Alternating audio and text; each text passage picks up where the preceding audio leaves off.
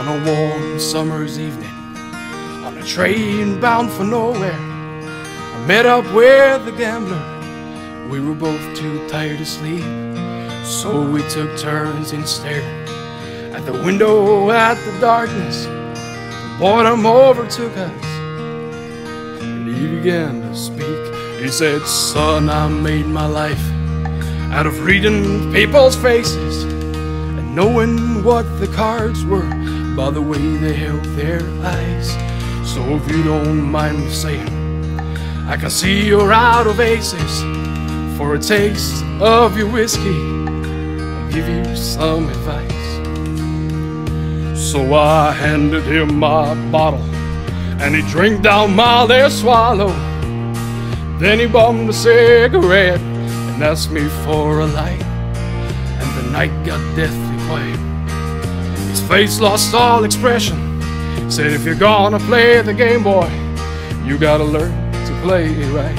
You got to know when to hold 'em, know when to fold 'em, know when to walk away, know when to run. You never count your money when you're sitting at the table. There'll be time enough for counting when the dealing's done.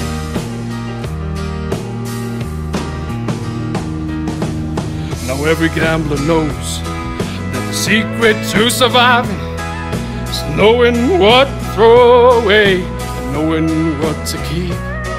Cause every hand's a winner, and every hand's a loser. And the best that you can hope for is to die in your sleep. So when he finished speaking, he turned back towards the window, brushed out his cigarette, faded off to sleep. And somewhere in the darkness, the gambler he broke even.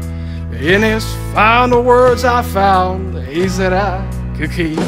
You got know when to hold know when to fold know when to walk away, know when to run. You never count your money when you're sitting at the table. There'll be time enough for counting when the dealing's done. You got to know when to hold 'em, When to hold on, know when to fold 'em. when to fold on. Know when to walk away, know when to run. You never count your money when you're sitting at the table. There'll be time enough for counting when the dealing's done.